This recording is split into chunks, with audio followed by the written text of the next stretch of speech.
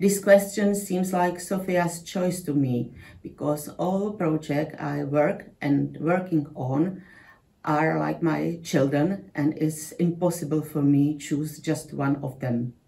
One of the leads. No special training. I hope that my experience are extensive uh, enough that I can be a good jury member without special training. Strict and fair. An opportunity to get acquainted with uh, creators and TV production in Middle and Eastern Europe. The creative process, especially working with the script and it in editing room. Stand up for your ideas and don't be afraid to fight for them.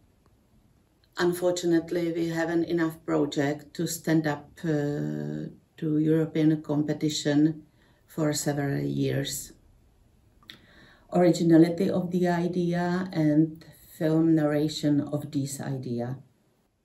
I can't give you a single name.